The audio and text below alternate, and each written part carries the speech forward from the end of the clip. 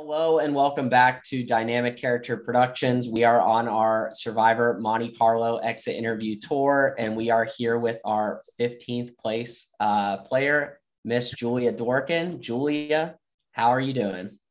I'm good. I'm, I'm living life in Tulum right now. It's hard to complain. That's yeah. awesome. Actually, on the island, uh, actually having a good time. Um, I am Ian Moorhead, one of the hosts, joined tonight by my co-host Morgan Jackson. Morgan, good to see you.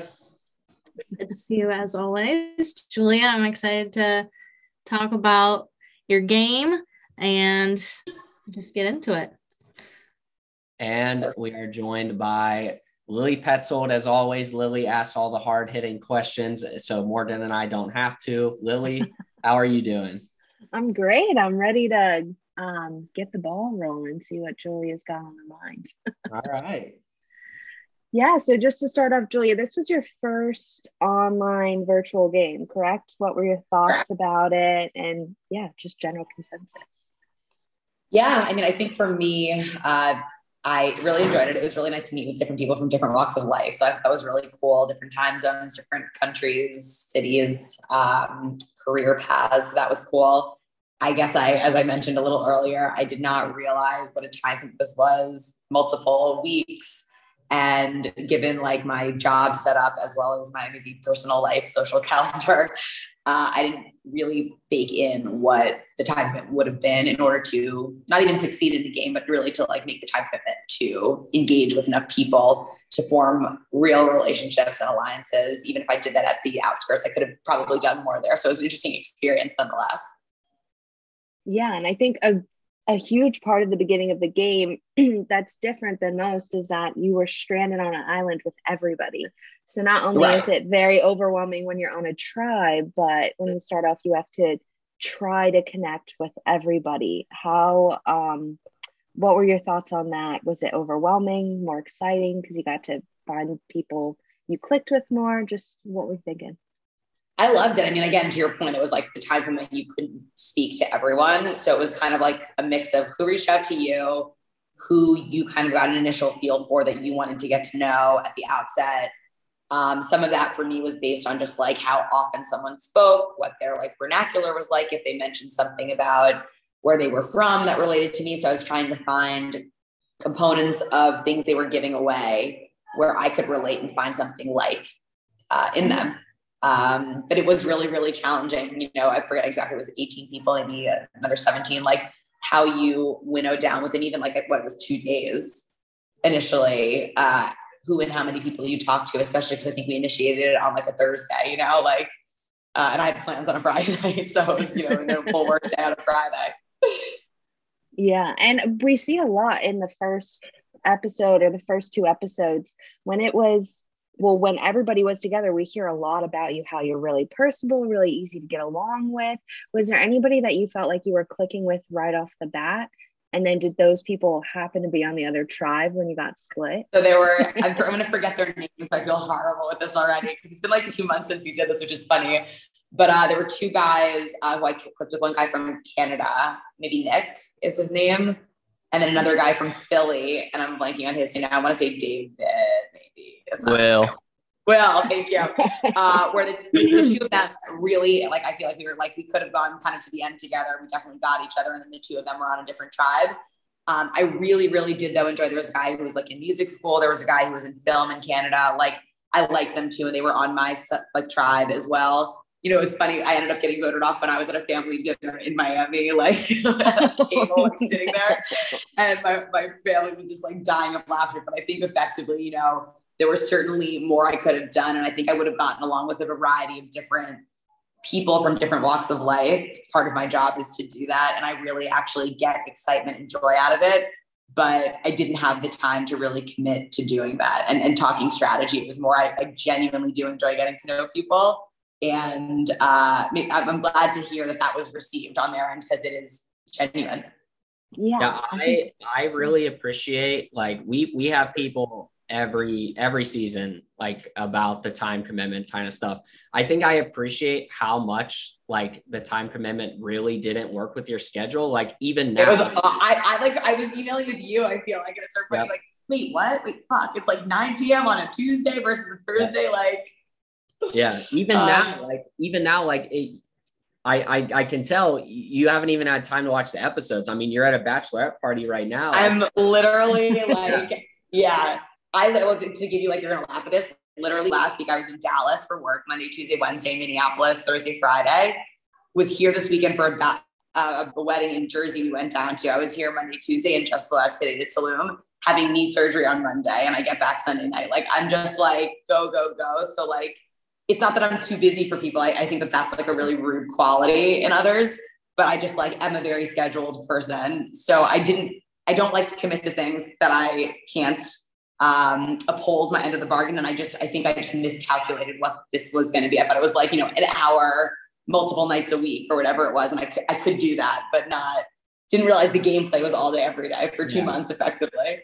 Yeah. And in the episodes, there were multiple people were trying to find a reason not to vote you. I oh, I hate it's that. Just, it, it's amazing because I know we know what kind of time you put into the game versus everyone else, and it was amazing to see people grasping at the smallest or the skinniest of straws to try and keep you.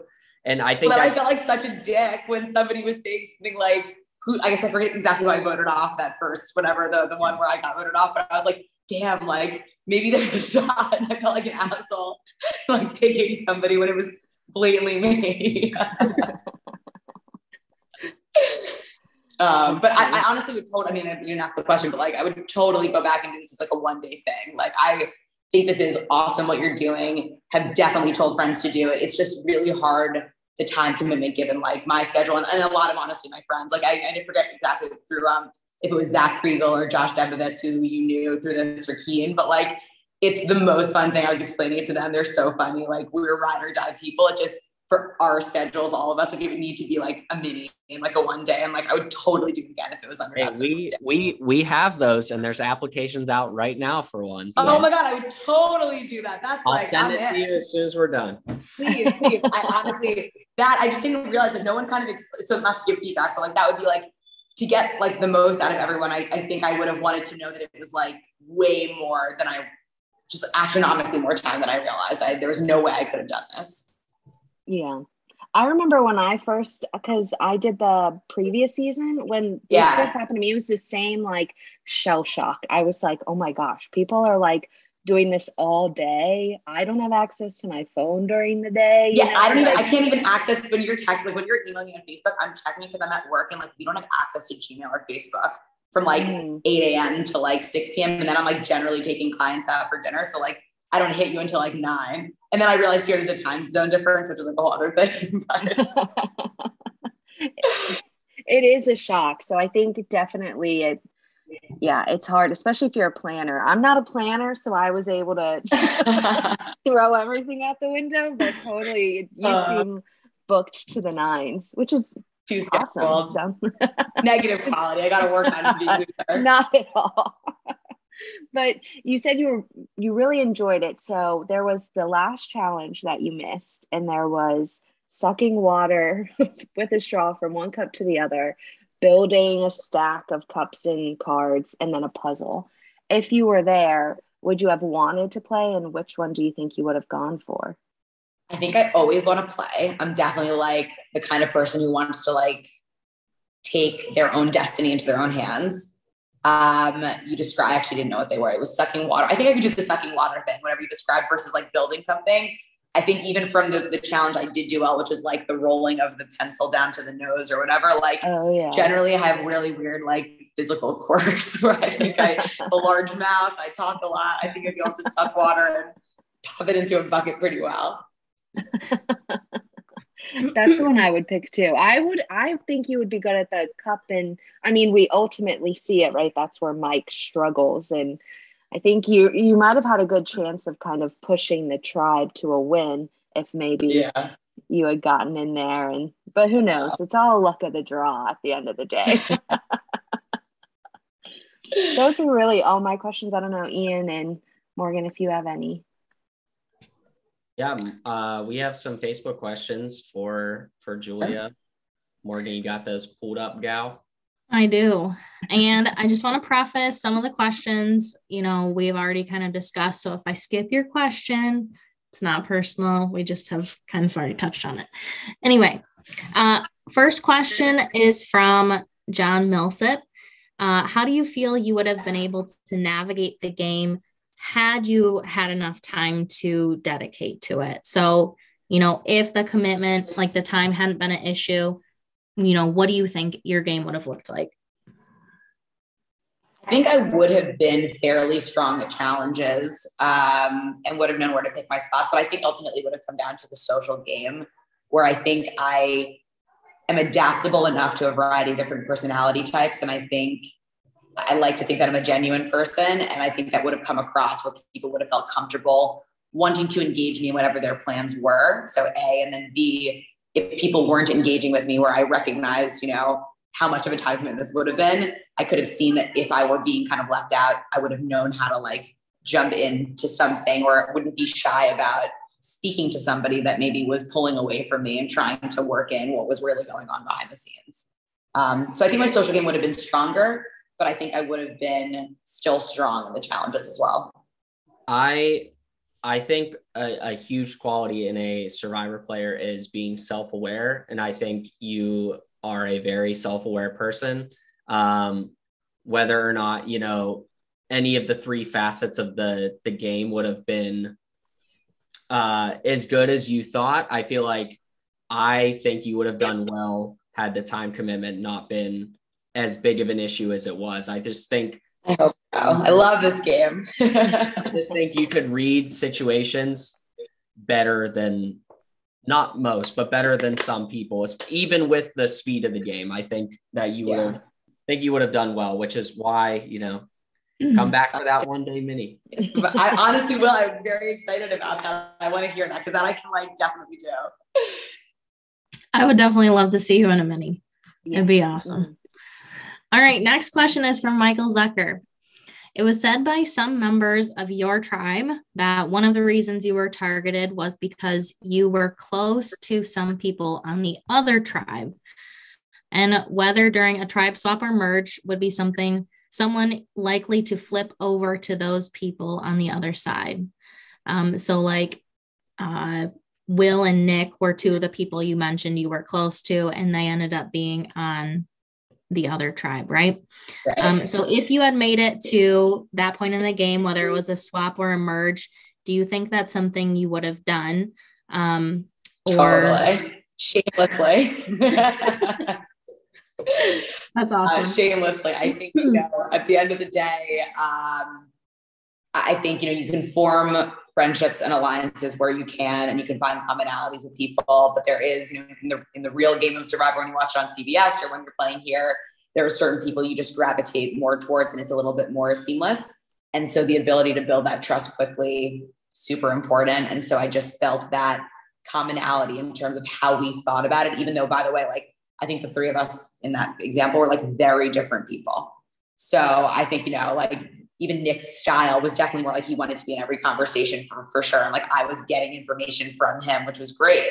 And I think Will maybe took a bit more of a back seat, but kind of picked his spots. And I was probably more absentee, but like it was everyone had their um, skill set in their ability to gather information. We shared it and trusted each other and knowing how like philosophically we wanted to play together. So I liked that at least. Self aware. All right. Next question is kind of a funny one from Alex Trias. It has to be asked What did you end up ordering when you were out for dinner during your tribal? That is a great question. So, this is kind of funny and probably long winded. We were in Miami. My sister lived down there during COVID. So, we were visiting her before she moved back up. My mom made us go to dinner at Prime 112, or is that what it's called? Prime 112, I think. Uh, and the guy who owns the restaurant she had gone on dates with in high school. We're with my dad and like our family. And she is like standing up there, like flaunting her stuff and is like ordering everything on the menu. So we ended up doing some like crazy, you know, fish chicken. But the crazy thing there is the desserts.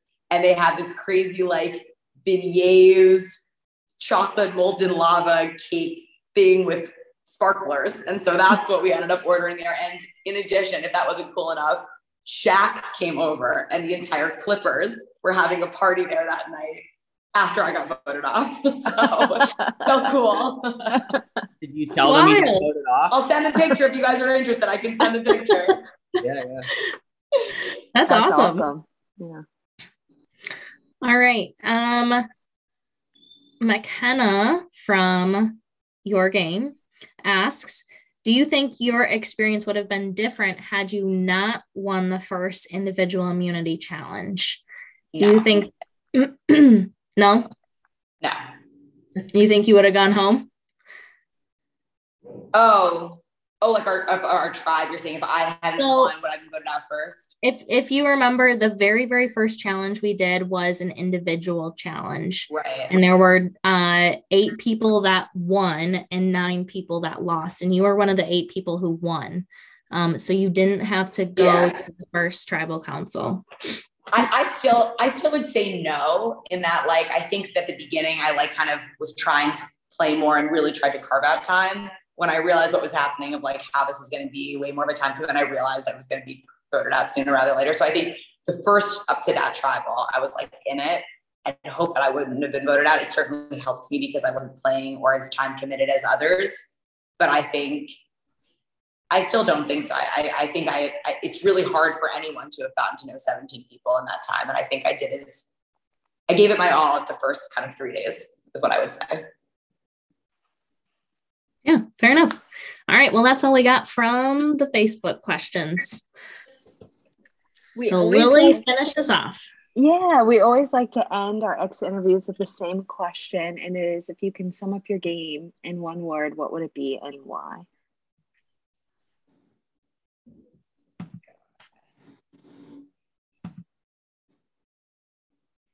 Some people hyphenate it. oh my gosh. Okay. But she's a planner. We didn't give her maybe, time. Maybe, maybe like I'll try this up. Experiential. Oh, okay. And like if it needs if it needs an explanation, it's more like you know, like I really had a really fun time. I really enjoyed it. It was nice to meet you people. Like it was a really well-rounded experience, and it was an experience with which I wish I could have given more, but I still really enjoyed um, all around. So I, yeah, I have nothing negative. I think it was a very positive, fun thing to do. Yeah. And I love that you guys are doing this and I want to support you guys. And it's I wish I could have done more. Aw, I love it. Um, I have a question I'm asking this season. Uh, even if you have to give me a description of who they are, give me one person that you felt like impressed you while you were playing. Um, you felt like when you talked to them, you were like, man, they're just, they know what they're doing, or like, even if you talk strategy, maybe like you talk with Nick and Will, like strategy from them that impressed you, just one person.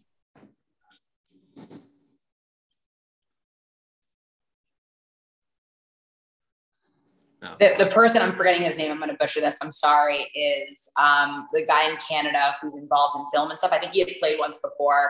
Jonathan. He was Jonathan, very different from me, very like even keeled, gave nothing away in his like verbiage or excitement level, but was like super interesting, super smart. And uh, I actually thought was very self-aware in some ways, like knew how to like toggle me, even if it was outside his comfort zone. So I thought he was, I forget, I don't know how far he actually got, but he was fantastic. And I thought he would have gone like all the way, actually. I thought he was very good. All right. Well, Lilly, anything else to add? No, I love this. It was a lot of fun. I hope yeah. that we get to see you in a mini. I know. Send to me. I honestly like if I can commit like a day or whatever it is, I'll even take off work. Like I just need to focus on it. I just um I didn't realize what I was getting myself into negatively. I don't know, positively, I don't know. So I just I appreciate what you guys are doing and I love this. So I'm down to play next time. Yeah. All right. Well, hopefully we'll be seeing Joy again very soon. But you saw her here tonight on her exit interview for Survivor Monte Carlo. I'm Ian Moorhead. That's Morgan Jackson. This is Lilly Petzold. and that is Julia Dworkin. And we'll see you next time on Dynamic Character Productions.